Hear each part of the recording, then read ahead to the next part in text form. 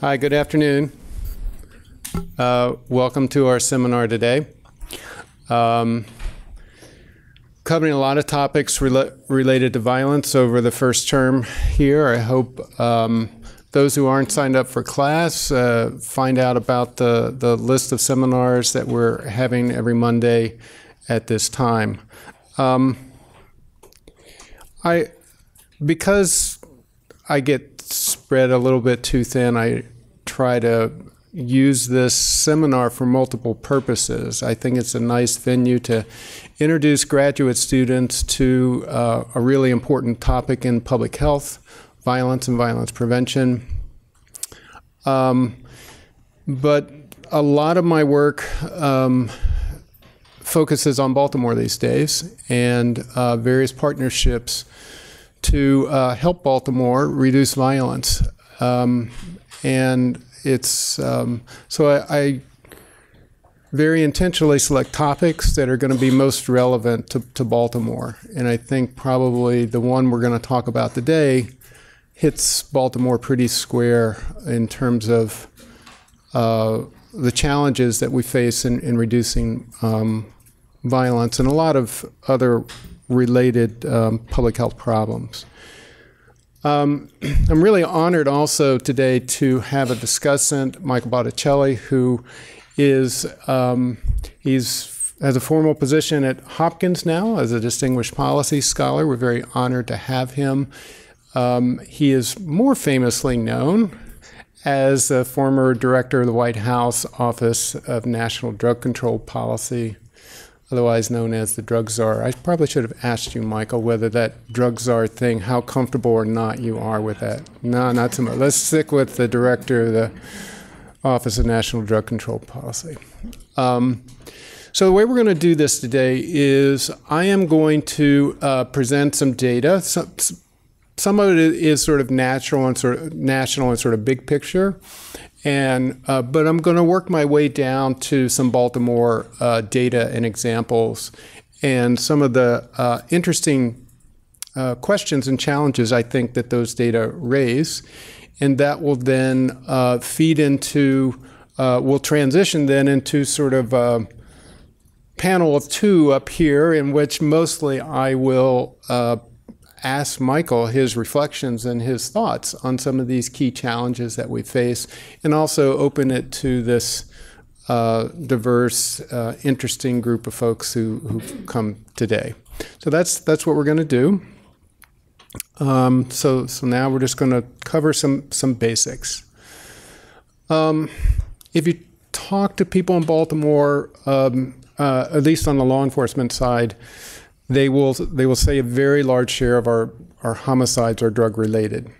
Um, if you look at the data that the FBI compiles, so the Uniform Crime Reports data, and um, what do we know about the circumstances surrounding homicides or, or murders, uh, it's a little honestly difficult to interpret, mostly because 40% of the homicides we don't know. They they aren't they aren't solved in any to, to anybody's satisfaction in law enforcement that they know for sure who did it and why they did it. Is it drug related or not? Well, we, if you don't know, if you haven't made an arrest, a successful um, uh, investigation or prosecution, then you have a big unknown category. Another 40% of the cases some sort of interpersonal conflict, argument kind of scenario. If you look at the categories that the FBI has created that have drug and or gang connected to them, it's 16.5%, which seems to me, at least someone, again, who spent my career uh, here in Baltimore, as a low number. So my hunch is it's probably more than 16.5%, and that 40% of that big mystery, right? My, my sense is that um, a healthier share of those are going to be drug related than of the known categories, principally because it is difficult, more difficult for police to solve these crimes. I'm going to actually get into that a little bit as I get deeper into this conversation. Um, violating a, a, a, law relevant to uh, illegal drugs is one of the most common reasons people are arrested and, and are behind bars. Uh, these come from the same uh, reporting system from the FBI, these for arrest. And about 14%, the most serious crime, is, uh, is a drug violation. Now, many of these other categories with respect to property crimes, for example, many of the people committing burglaries, stealing cars, doing things are doing things maybe to, to support a habit, perhaps. Um, there are also a lot of weapon offenses as well. So, but this is it's a very common reason why people enter, get arrested, and, and enter the law enforcement criminal justice system. Uh, these data uh, reflect what we know about uh, drug abuse and drug dependence in incarcerated populations. Um, so the first two bars here are for state prisoners and people who are in local jails after having been sentenced. Um, and, and you'll see roughly 60% with some um, drug related use problem, uh, largely with, with dependency which of course dwarfs the what um, levels of drug dependence and drug abuse are in the adult general population. So there's clearly some connection between using illegal drugs, being dependent on illegal drugs, and being incarcerated and, and committing certain crimes, including, including violence. Um, these are some national numbers, some of which uh, I, You'll, you'll note the most important thing is the upward trend in how much uh, federally we are spending on treatment, and our discussant has a big role in why that slope was going in that direction, and he deserves a great deal of credit. Um, but um, the bulk of our resources have been connected to some aspect of interdiction and drug law enforcement. This is just federal dollars, by the way. If we totaled in what we spend on local policing, state courts, prisons, and so on, um, this would be um, a much different picture in terms of resource allocation. Um, arrests for drug crimes have been trending down in recent years. As this graph here indicates, these are um, um, uh, yeah, arrests uh, only through 2015. The 2016 data are not out yet. Um, the bulk of these arrests are not for illegal uh, sales um, or manufacturing, but principally for uh, illegal possession. So these are these are um, a lot of people who are being arrested because probably because they're using drugs, illicit drugs. This is sort of the general breakdown of the types of drugs um, that people are arrested for. Um, marijuana uh, accounting for a pretty healthy share here.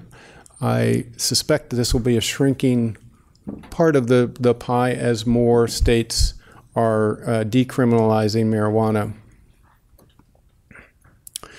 Now I want to get sort of into the heart of the matter, which is um, how do we approach this? I'm going to talk a, a lot about law enforcement um, approach to to drugs as a mechanism to reduce violence because clearly there is a connection between illegal drug use, sales, and violence.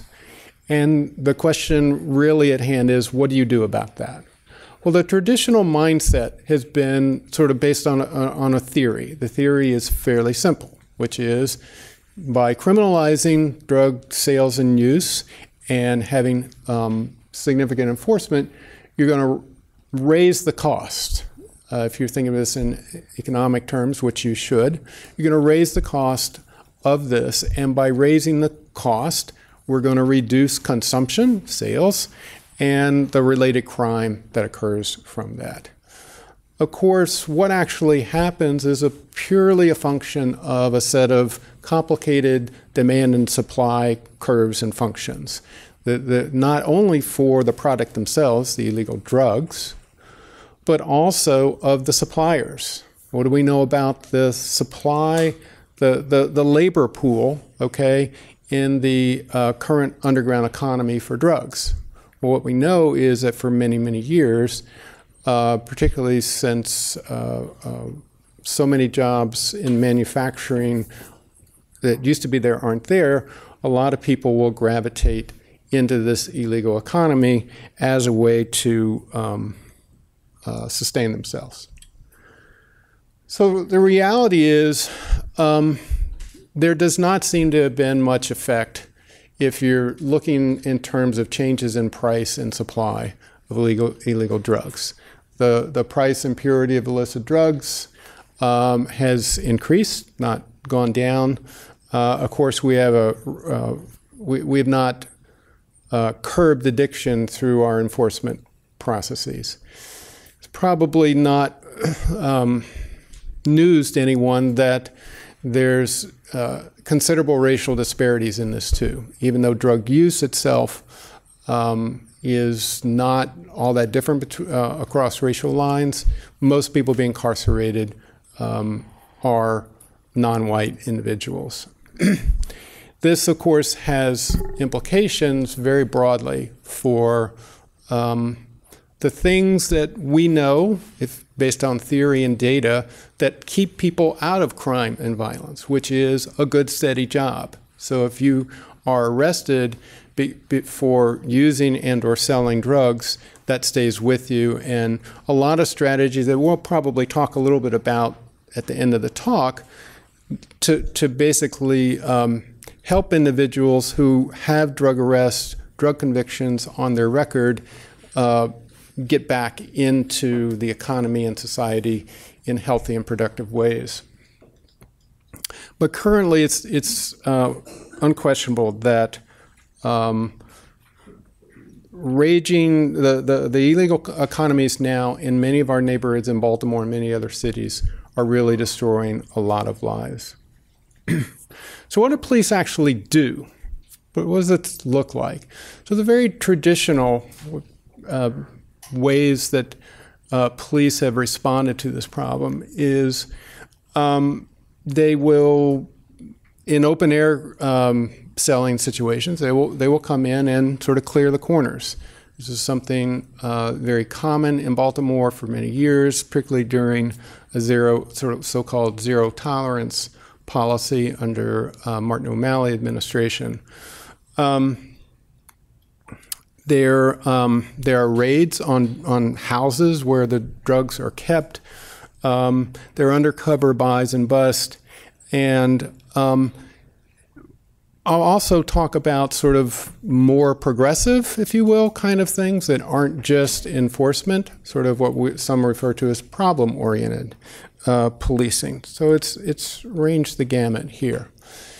Um, despite the incredible amount of resources that are devoted to um, law enforcement directed at illegal drug sales, um, there is shockingly, shockingly uh, little solid research on what the impact of, of all of that effort uh, actually has on violent crime.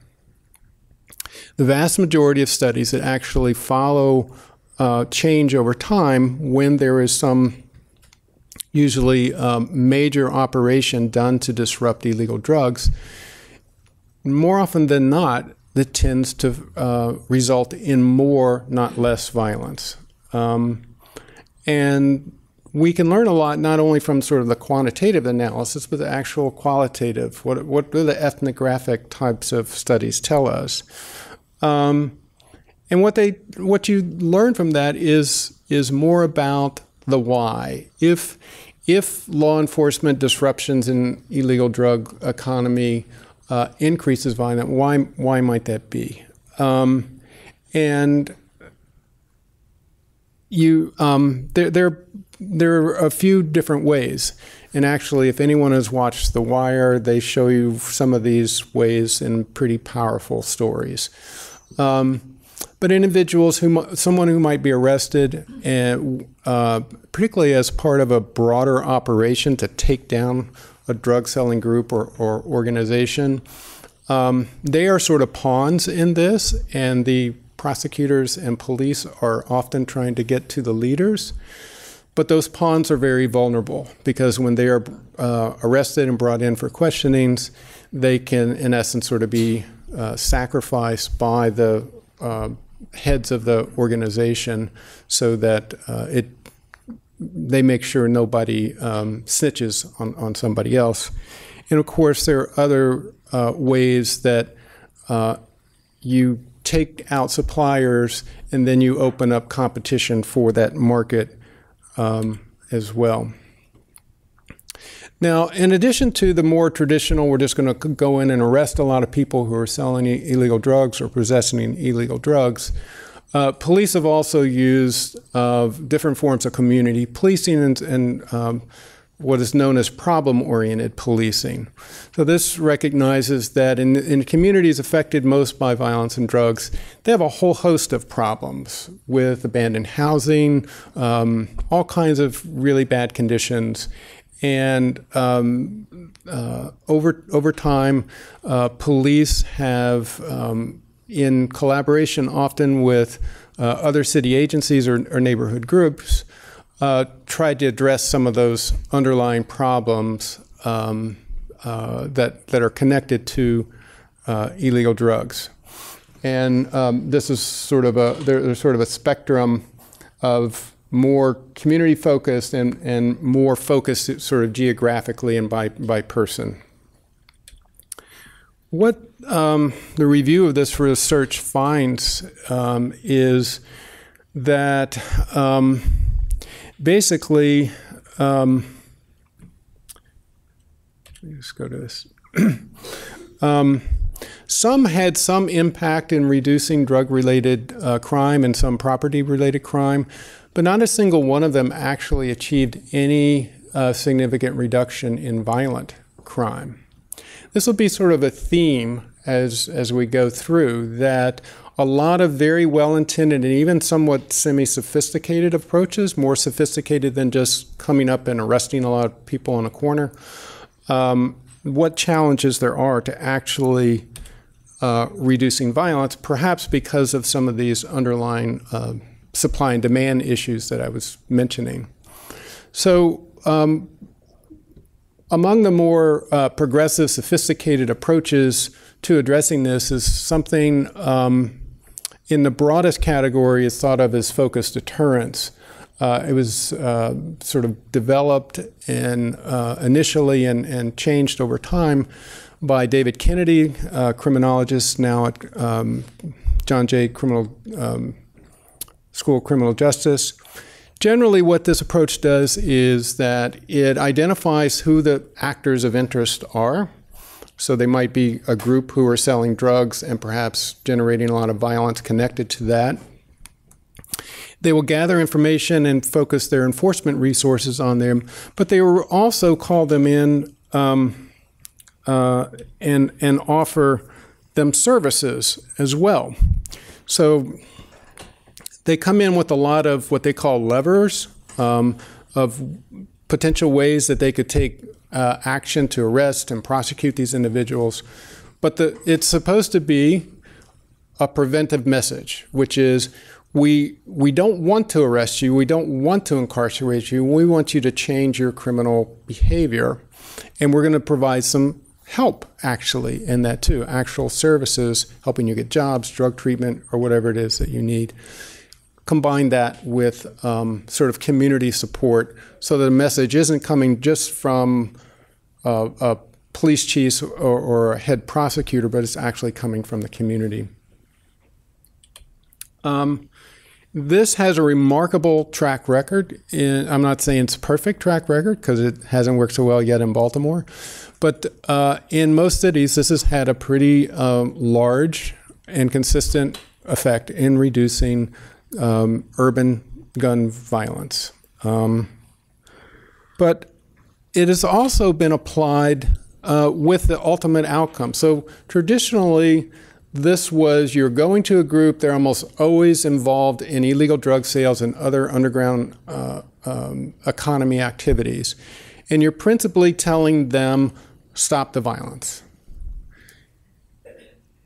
They then said, okay, we're going to try to take it one step further. We're going to actually bring people in and say, you have to stop selling drugs. Okay, and it started with this uh, the high point, uh, what they call a drug market intervention of, of using the same set of principles of focused deterrence um, in there.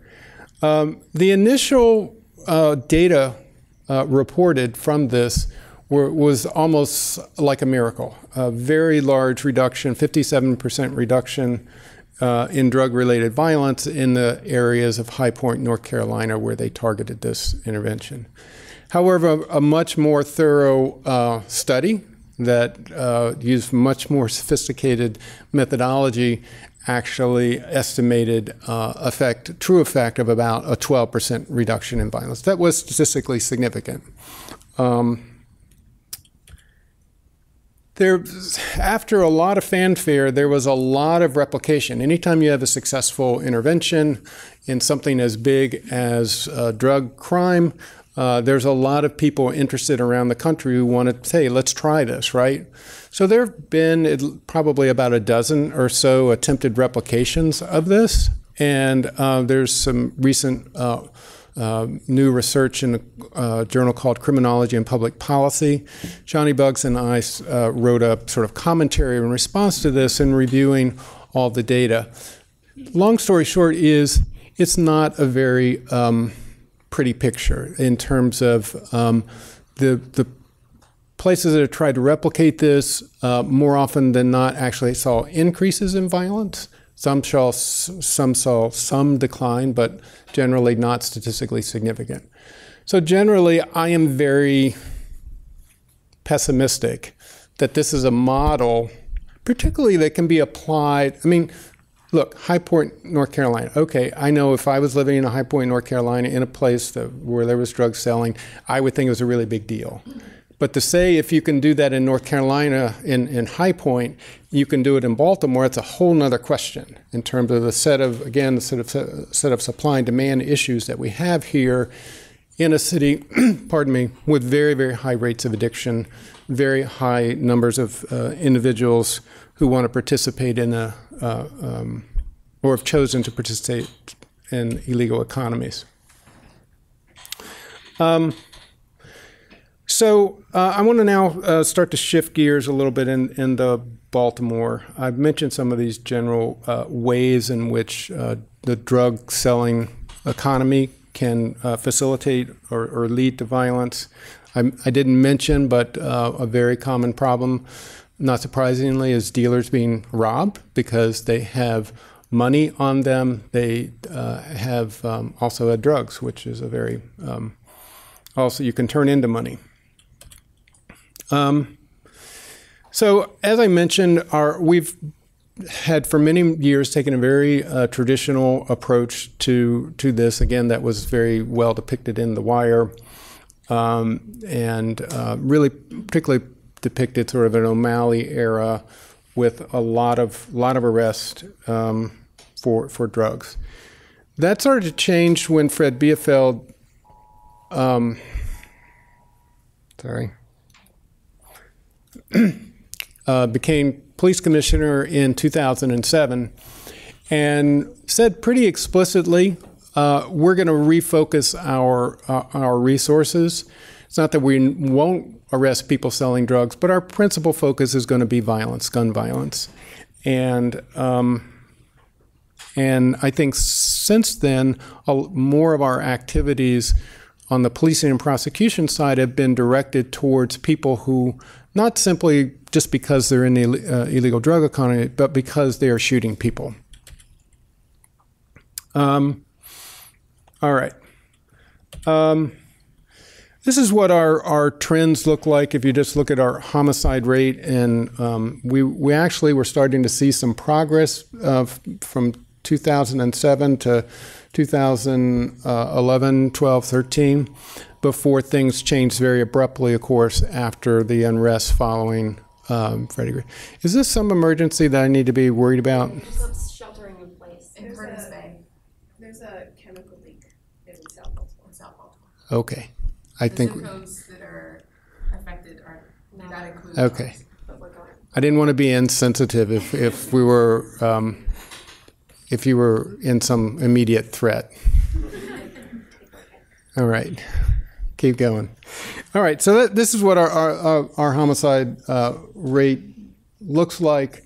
Um, and one, one theory about this abrupt change of why in the world did things change so dramatically, literally overnight after that unrest.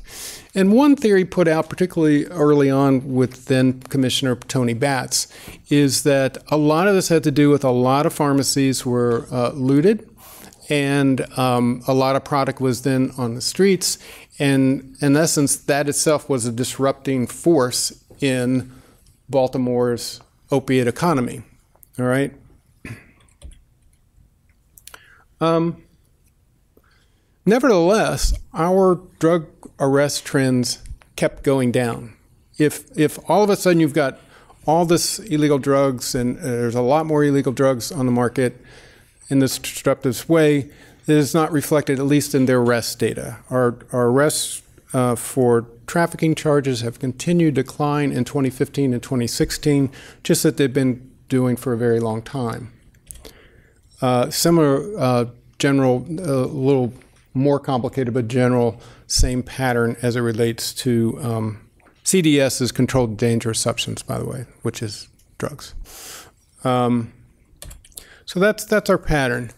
So um, um, I've led a team here looking at the trends in uh, homicides and non-fatal shootings uh, by police posts from 2003 through 2006, looking at a variety of place-based interventions and uh, enforcement practices to try to understand their temporal spatial relationship to these key outcomes that we track in the Baltimore Sun on a daily basis.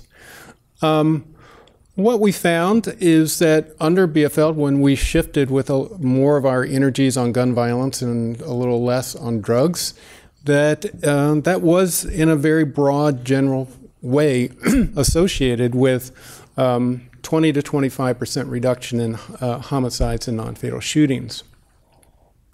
But what about the drug um, uh, enforcement metrics themselves?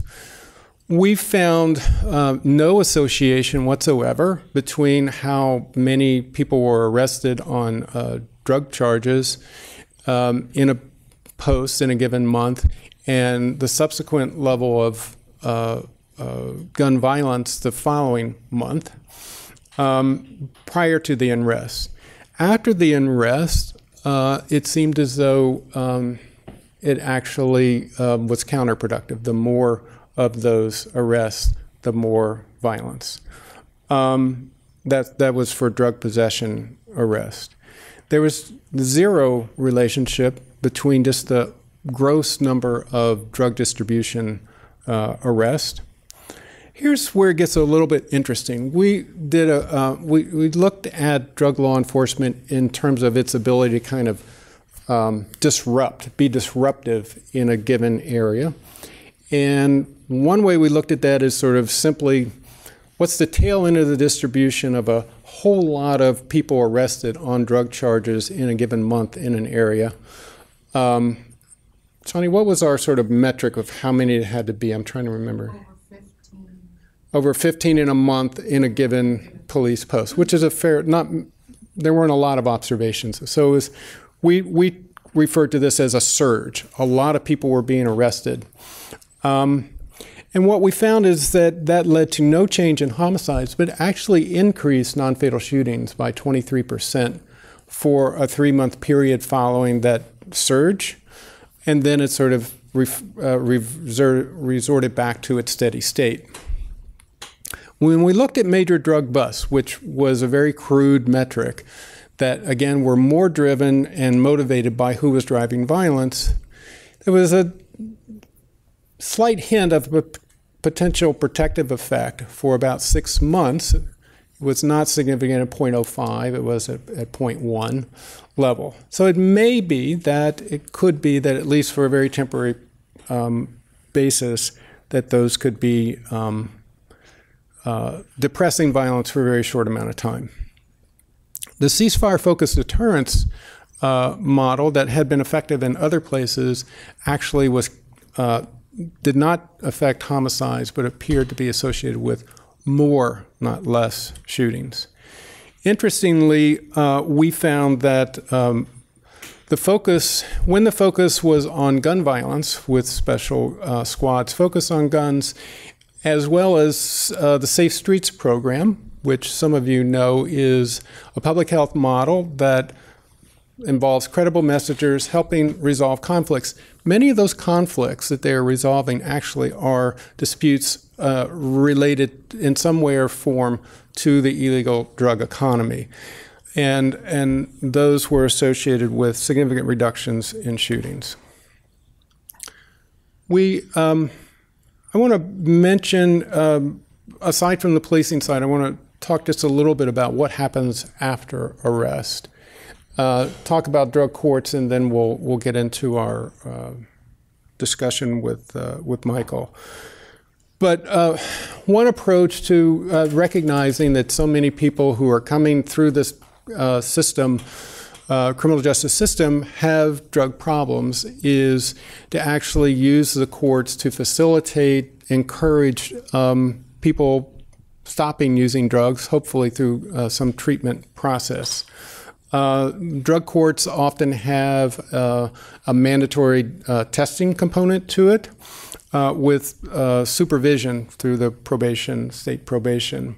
Um, and you, you have to reappear in court uh, to make sure that you are abiding by the, the, what you needed to do to stay off of drugs.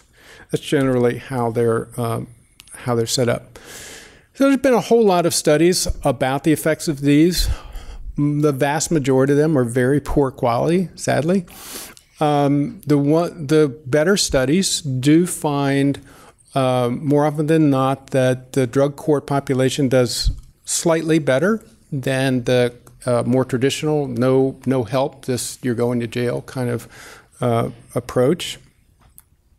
The uh, benefits seem to be stronger when the judge makes very clear what the expectations and requirements are up front there's also seem to have better outcomes when there is a single provider rather than multiple providers. And I think that tends to be because there are very set standards rather than just go get treatment any place you wanna.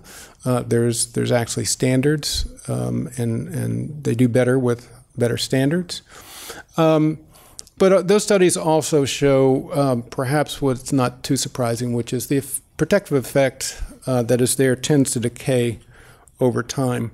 One of the better studies and few studies that actually did a randomized trial was drug court here in Baltimore. But I want to just show you these numbers to give you a little bit of perspective. Even though there are statistically significant differences between the treatment or drug control uh, drug court group and the comparison group, um, that is a very high rearrest rate, even in the treatment group.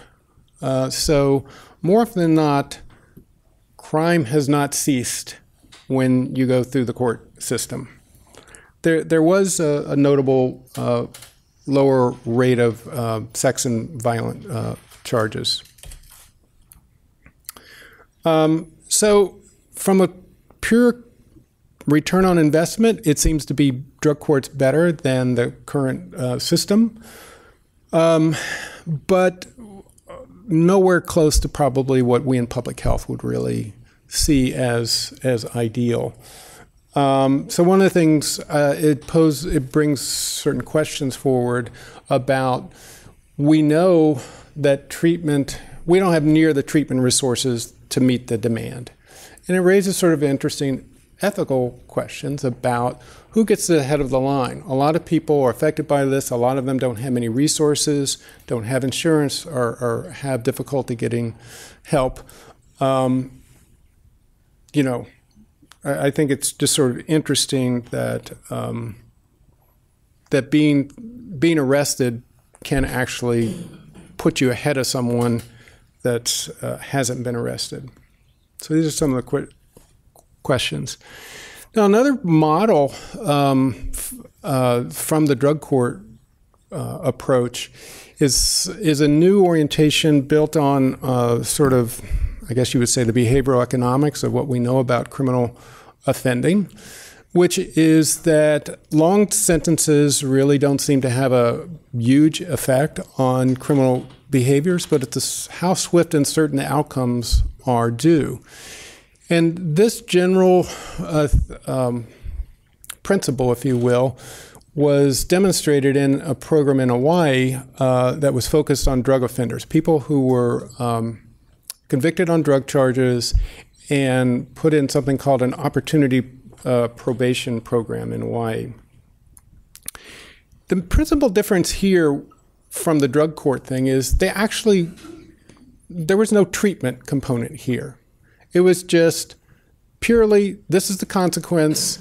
If you fail your drug test, you're going you're going to spend some time in jail. You're not going to spend years in jail. You might be a day, it might be a weekend, but there's going to be a swift and certain outcome to that.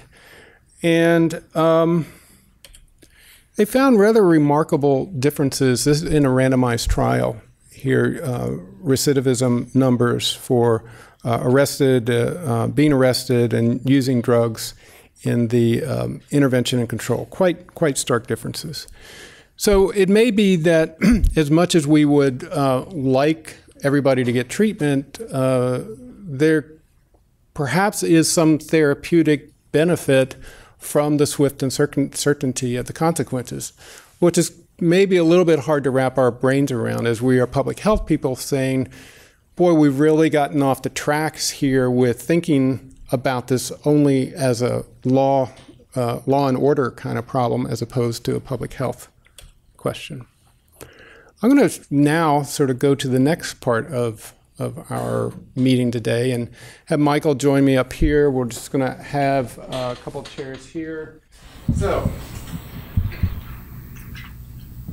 you've obviously spent a lot of time thinking about these same challenges, thinking and, and, and all the political uh, challenges that, that this presents. Um, what, in, in your mind, sort of, can you put forward what your vision was when you were working for the White House. You clearly were trying to steer things more towards a treatment public health orientation. Talk to us about sort of that long-term vision and then sort of maybe short-term uh, hurdles or whatever to get over. Sure. So everybody, it's, um, it's good to be here. Just as a little background, in case you're not familiar with kind of our office to the degree that I was. So we were established in 1988 by Congress to do really two things. One, set the current administration's drug policy strategy. And as you can imagine, you know, that policy um, really straddled all, just about every department uh, in federal government. And the second piece, which was somewhat unique, is that we actually had statutory authority over those agencies' budgets.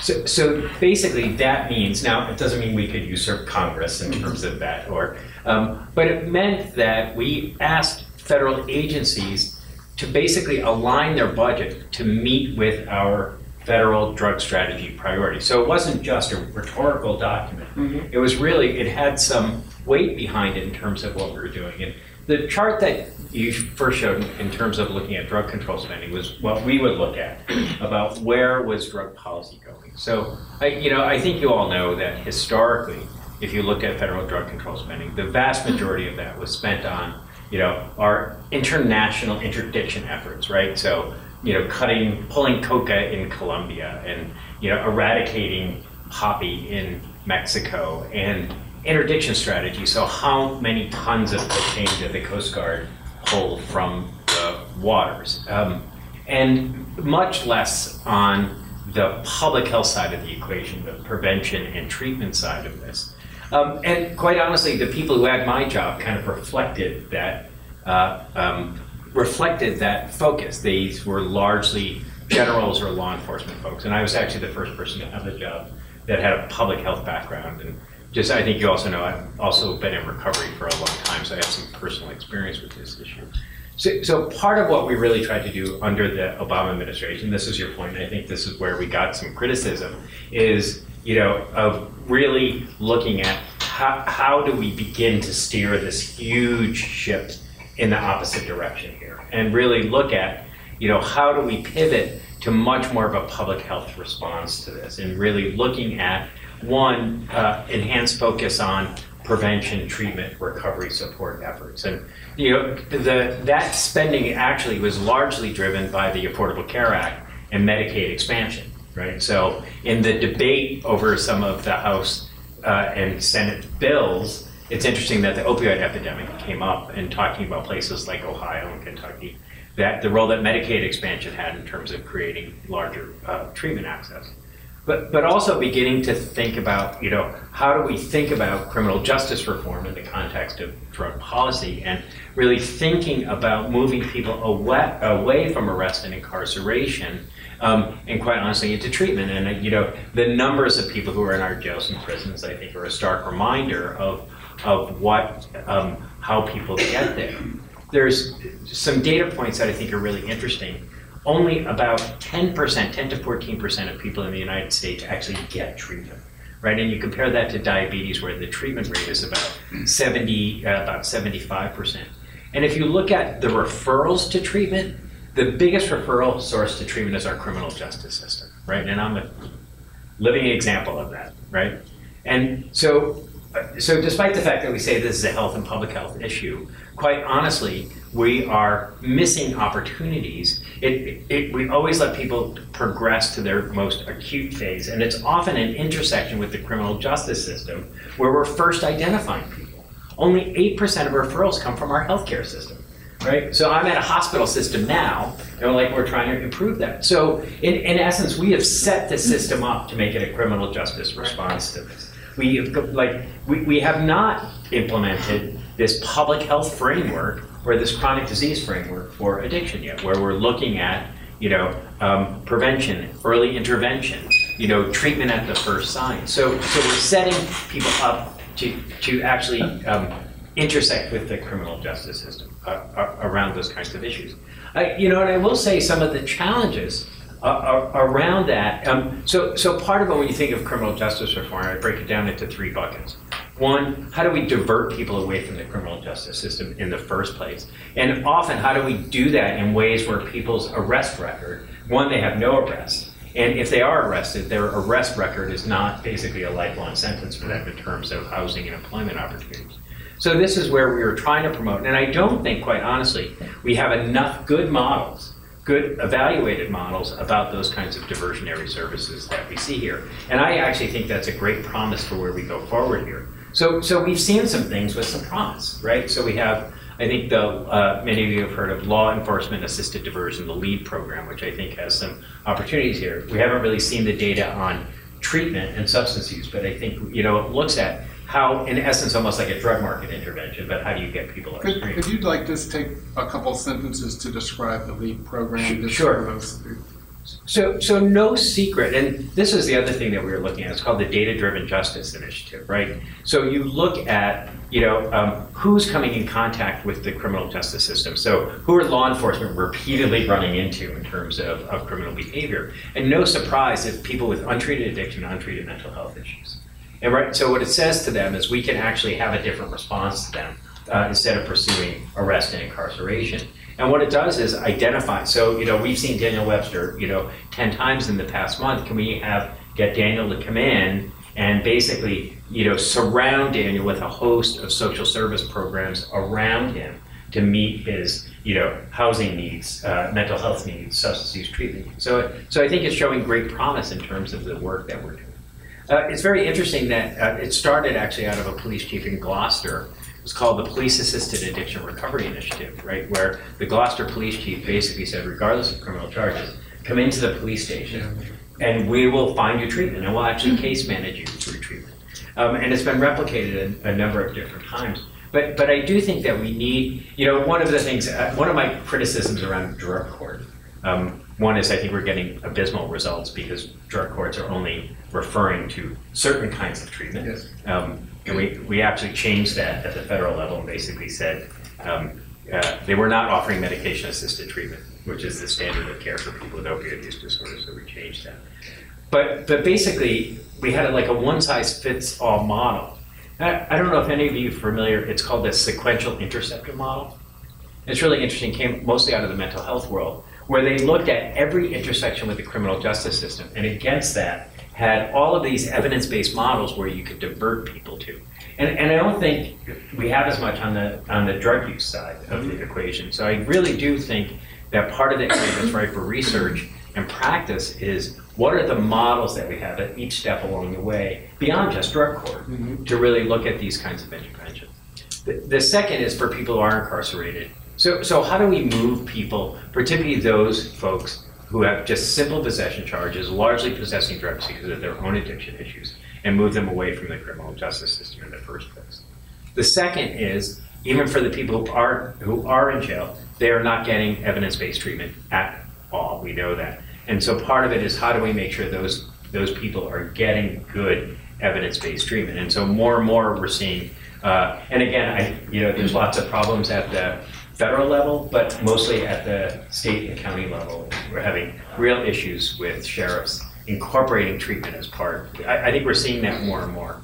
And then the third is how do we make sure that people who are reentering our community um, are getting hooked up with good treatment, also getting good housing and employment opportunities. Data in Massachusetts just really startling, as we're looking at fatal overdoses, that those who are just came out of jails and prisons were 124% more likely to have a fatal overdose event than those folks uh, that in the general population. So we're missing opportunities to do that. But but I think the challenge becomes, you know, and and I, I got to say, I think we were somewhat. This was one area that we're, we actually had a lot of bipartisan support in Congress, and we also heard a lot of the presidential candidates kind of saying the same thing. Um, that changed pretty dramatically, um, and and it's very interesting. There was um, uh, President Trump had a forum in New Jersey on this issue, and he was looking at the arrest data. And he was basically saying where the drops in arrest data and basically blaming the Obama administration that we caused the opioid epidemic, epidemic because By we not took- arresting by not arresting people, right? So they're using that data despite the fact that, that quite honestly, we did not see increases in crime related largely, um, uh, large increases in crime as it relates to that uh, diminishing, you know. So uh, unfortunately, I think we're beginning to see a pivot back with the Attorney General now talking about mandatory minimums, talking about being tough on crime. And, and this administration kind of posturing for basically a tough on crime approach is what we do. So, you know, what's, what's really kind of depressing to me um, is that we hope that that trajectory would keep going and that we could actually begin to really, um, you know, have not just the treatment and prevention lines go up, but have the kind of law enforcement lines go down here. Um, I, I, I will say one of the other things, and you and I had talked about this, very interesting looking at what's happening in Mexico right now. So you've been probably seeing reporting around the just huge increases in homicide. Well, um, I can say this now, I'm not a government person. So our State Department, with the support of the Mexican gov- uh, government, took this strategy of focusing on high-value targets, right? So high-value drug cartel targets. So if we basically just pick off the heads of the Sinaloa and the Pacific cartel, um, that we will uh, basically diminish the drug trade. Um, and uh, that was clearly not the case. And all it did was fracture all of the cartels. So you had huge surges in violence and homicides associated with everyone jockeying for position. So I would agree with you. I thought your 16, I thought, not your number, I thought the 16% number was really low, particularly as we've seen heroin just her- increase in many, many communities throughout the United States. So, you know, it's really, I think it's, a- it's, it's a challenge. And, and part of the challenge is that each administration gets to come in and define their own priorities, um, despite all the evidence that we have, um, uh, you know, against those kinds of approaches. So, you know, it, it um, you know, it was kind of a real challenge, I think. Um, and I'll say, you know, we had some success in other um, areas where we didn't. You know, um, I, uh, you know, be hard pressed to say that we got the State Department to change their focus and approach. So, somewhat, right? Um, you know, I, I think they, you know, added alternative development, you know, kind of reluctantly to their portfolio of services. But, you know, their bread and butter is, you know, how many hectares of, you know, cocaine did, did we spray in Colombia? Um, if you don't mind, can I just ask you about, I'm trying to imagine being a fly wall some of the meetings you've been in, hard to do. But when the law enforcement folks are puffing up their chest about the kilos or whatever it is that they are, you know, doing with respect to the supply side, do those conversations boil down to what about the violence? Like, it, it- it's, No, so it wasn't, it's interesting that you say, it wasn't the violence. So the question that I would ask, and there's not a lot of evidence to support this, is the, the whole rationale you think of behind, behind getting drugs out of a community, right? Are, you know, we've known from a public health standpoint that price and availability are two risk factors, right? We've seen it with tobacco, we see it with alcohol, we see it with food. So there's a lot of, you know, kind of thinking that if you take the bad stuff out, um, and particularly if you lower the price, that you will reduce use. And I think there's a lot of you know evidence there. So my question back to them was, so what, right? So show me what's the if if your metric is just how many arrests you made, how many violent gangs you broke up, or how many uh, you know uh, uh, uh, uh, you know kind of smaller drug organizations did you break up? Um, if that's your only metric, then you basically get to um, tout a whole lot of success. And, and I got to tell you, it resonates. It resonates with people in the community. It resonates with legislators, and it you know it res, it resonates in Congress. You know, so I'm sure you the metrics that they're using, President. Correct, right? So, you know, um, I I don't know how many times I've seen, and you've probably seen them at all, where, you know, you see this Coast Guard boat, you know, um, you know, taking huge bales of cocaine. And, you know, to the average person, that looks really great. But, like, did it make a difference? Right. You know, and the answers are really no. I, let me, you know, when I was kind of coming into ONDCP, we had this measure, um, this supply reduction measure, that if we can basically take 40% of the drugs that are coming into the United States, that was our, that was the metric, um, that that's success. And so the logical question is, why 40%, right? And by every account, it was invented, right? Because people postulated that 40% would reduce availability, thereby driving increases, and you would extract so much money out of the system that you would do irreparable harm to the drug cartels. And like I would say, by what evidentiary standards are you creating that, right? Meanwhile, we have really good public health data about what's effective prevention and treatment services. But but it's a bohemian, you know. It's um, and you know when you have you know large organizations like the Department of Justice and the State Department, you know, kind of who built in essence their life and their career on one set of you know standards. And and, and I will say it's not as if those folks didn't understand that there was a demand component to this. Um, but you know, but clearly that was not kind of where their money was headed. I want, I want to now give folks an opportunity to make comments or questions. Shani, hopefully the mic will reach most of you, or if you can come to the mic, uh, that would be great.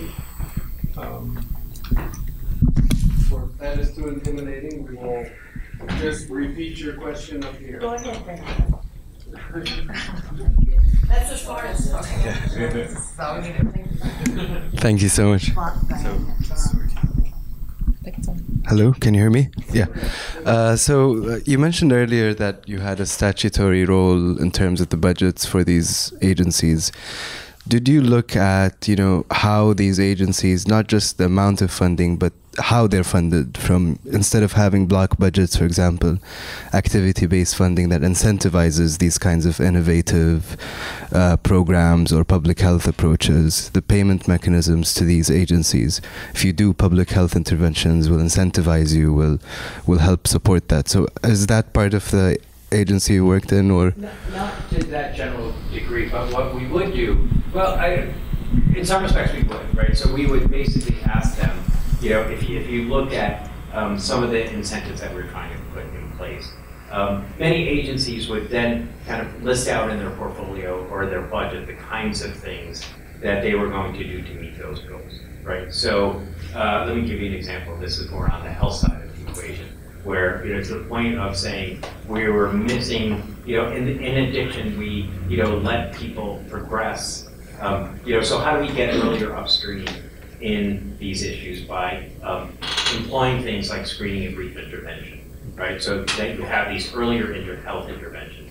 So that's probably an example where we say, okay, we want this from a policy perspective. Show us and demonstrate from a budget perspective how you're lining up your budget to meet those kinds of public health interventions in terms of Thank you. the, the challenge is, um, federal grants can only go so far, right? We have a huge healthcare system, uh, you know, of which federal funding, I mean, Medicaid aside, um, is, uh, uh, yeah, so grant components can only do so much. Um, but, but often those interventions and those innovations were kind of proof of concept, so that you could then try to kind of exert change within larger healthcare systems. We're told the audio is better if they do it up here. Oh, okay. Thank you. Yes. Hi, uh, my name is Juve Park. I have been um, uh, working with people who use drugs, particularly heroin and cocaine, for the past seven years in Baltimore and in other places as well. Um, and I wanted to ask, and this is kind of like a critique I have of a lot of public health approaches and criminal justice approaches to drug policy. Um, and the you know substance use issues, overdose, things like that. Um, to what extent uh, the perspectives of drug dealers taken into account when making these policies? I say that because a lot of the people who I've worked with are also drug dealers. They get arrested for possession, but they also are engaged in the drug trade in some way. And um, also, we all also know that um, people who are battling addiction, um, a lot of these people are in low income um, neighborhoods. They don't have that many, you know, uh, much choice in what they do to make a living as well. No, uh, not enough either. Uh, uh, and it's interesting because, you know, part of what, um, so, so let me use the kind of heroin fentanyl as a really good example of, of that. Um, I, I don't think we have, we've done enough kind of quantitative interviews, uh, qualitative interviews with active drug users in terms of their attitudes around fentanyl. Um, and I think from a public health standpoint, it really hampers our ability to think about uh, good interventions. Um, so, so I don't think we do it enough uh, interviews uh, either with active drug users or those who are actively involved in, the drug trade to, to really be able to understand what the policy levels are, level uh, levers are. Um, it's um, I think it's hard sometimes for federal government um, to do those kinds of things, but uh, you know that's where we count on uh, places like Johns Hopkins and a lot of other places to be able to do that because um, you know the, the question uh, then becomes kind of like so so why why are you federal government kind of paying um, for uh, interviews with people who are actively uh, using drugs or dealing drugs and not doing anything about it? Um, I would, I would say that um, two effective violence reduction strategies probably are informed by the uh, views and experiences of people in the drug trade. Uh, Cure Violence, for example, the Safe Streets model, um, it wasn't explicit about that, but I know when the program was being developed a little more than 20 years ago, the people who were putting that together were gang members who sold drugs. And when we haven't had success in every single neighborhood that's implemented safe streets, but when we've had, what's been really striking is the beneficial effects are almost immediate. And to me, the only way that I interpreted that, they didn't immediately change attitudes, did they? Like overnight, Safe Streets is here, we're going to stop shooting people. No, they came in and actually had listened in on some of these discussions. They came in and started mediating disputes between rival drug organizations. They needed that. That is the nature of an underground economy. There is no mechanism to resolve differences. You can't sue someone or take them to court. So they need some mechanism to resolve their disputes. And Safe Streets really is designed in part to do that. The drug market intervention with the focused deterrence, I think, also was informed by the experiences and thinking there. Um, I think it's has had some success in some places, but the broader economic and social forces are, are such that they don't resolve the violence component to it. Um, so, but, but I, I appreciate the underlying support because if your, your mindset is just, you know, these high level law enforcement people who, you know, like to um, advance their career by, you know, these big fancy prosecutions in the drug hauls and stuff like that, that, that hasn't really gotten us anywhere. I, I also think that we've left, so, so it's very interesting, and Daniel and I were talking about this before, that, you know, if you look at, um, you know, and I do think that, that some other countries, particularly Colombia now, right, in terms of the ceasefire, is really looking at amping up their alternative development strategy, right? Because you, you can't basically ask a coca farmer to give up his or her livelihood with no other economic alternatives in place. Same, same with poppy growers in Mexico.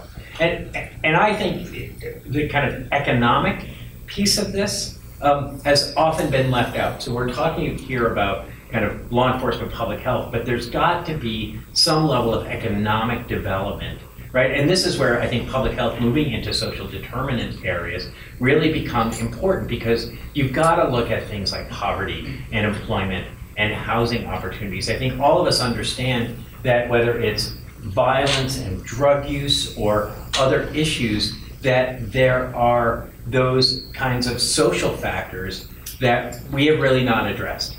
And, and I think that that's, you know, I think we have to think of it really as a three-legged stool um, in terms of, you know, yes, there's probably a right place for law enforcement, um, but public health plays a big role, and I think we've got to think about economic development as part of the package of services that we give to communities, because because otherwise we continue down this like siloed approach, and we're really not getting to root cause issues.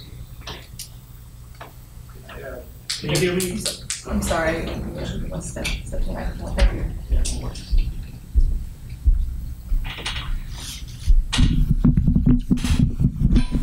Hi, uh, I'm Eugenio Weigend. I'm with the Center for American Progress. I have been looking at uh, drug violence and gun violence in particular. Um, I have a comment in terms of the Mexico issue that uh, one of the reasons that it also became very violent in Mexico, aside the, the breaking down of cartels, it, it was actually the access to guns uh, as well that allowed uh, a lot of cartels to confront each other, but also to divert to other types of crimes, not drug related, which are robberies and kidnappings.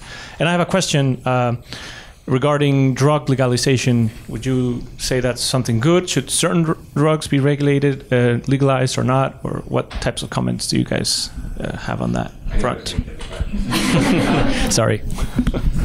I wish I knew what the answer is, right? Because, I, like, clearly, you know, the prohibition, you know, of drugs and the criminalization of drugs has its own set of significant risk and significant harm. I think what you have to balance it against is, you. I, I think we all understand that legalization or illegal drugs has a certain disinhibitory factor to them, right? That if they're illegal, there's a certain group of people who won't do them because they're illegal. So, so, so I've got. I think we have to really look at the trade-off between um, legalization and what that means from a public health standpoint. Uh, I, I will say this though, and I've always said this before, is like we know these public health strategies work. We do. We just haven't really implemented them to scale. And and so my piece is before we go down the road of legalization, like why don't we? And I I realize it's got to be coupled with criminal justice reform because of disproportionality issues. But but but I also think that we haven't really fully implemented ever in the history of the country um, uh, where um, where we can implement those kinds of public health strategies. Right. So even Portugal, their evaluation of legalization attributes some of the dramatic decreases they've had in drug use is the fact that they fully leaned into public health related approaches in the sense they have a treatment on demand system for people who are able to do that. So, so, so my piece is let's be careful here. I think we really have to um, study the risks and benefits, but but first and foremost, like let's implement this stuff to scale. We only have 14% of the people in the United States are getting treatment. Like we have a ways to go here before we're doing it. And then, you know, I, I, will say one of the things we didn't accomplish, look at prevention funding. You know, and it, it's been flat. I mean, th- those of us in the public health world that know prevention always gets short shrift. In any of these kinds of discussions. So, um, you know, I think we've got, uh, you know, let's fully, let's fully implement kind of, you know, what we know to work uh, first and foremost. That's always been, and that's not even me as a government official. That's just me, someone who's been doing the work for a while. Um, I'll just briefly say that um, I think most productively we need to be thinking about a path forward in which people in the criminal justice system, from from law enforcement, prosecutors, and so on, um, the accountability metric is really violence and um, morbidity, mortality connected to drugs. It needs to be a harm-oriented um, orientation and not a reward for arresting people. Um, and right now, um, you know, if you put somebody, a prosecutor, prosecutors traditionally, not always, but traditionally, uh, you sort of earn your stripes by putting people behind bars for a very long time. It would be interesting to sort of somehow concoct something in which there's your your the way you are judged is sort of your return on investment. So if I'm incarcerating somebody for 40 years or something, as opposed to how, how else could I use the state's resources to, you know, to, to bring down violence? So I think it's going to be a combination of what public health does, which is actually do rigorous studies to find out what, what law enforcement, criminal justice, and supportive health and social service uh, supports produce the outcome.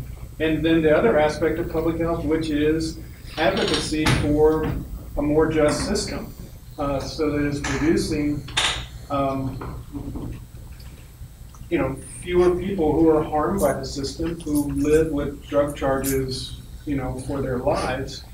Um, you know, so that's generally, I think, the, the path forward.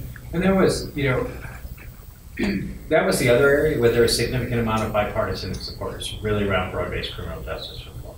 And I will say then Senator Sessions was, I think, the only senator um, who was actually opposed.